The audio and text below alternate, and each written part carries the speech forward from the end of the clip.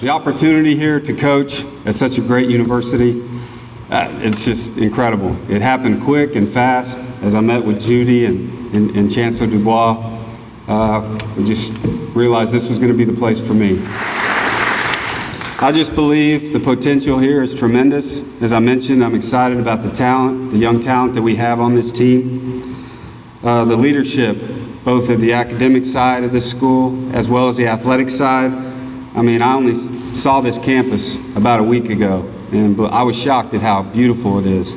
The facilities that you have here are tremendous. Biggest and most important thing is that they succeed in what any area of life that they, they dream of. Some of them will have a chance to go on and play professionally in basketball, but others will go on and be professionals in other areas of life. I'm going to do everything I can to let them know that my door is always open to them. I am for them, and they are going to succeed and be successful in whatever they want to do in life.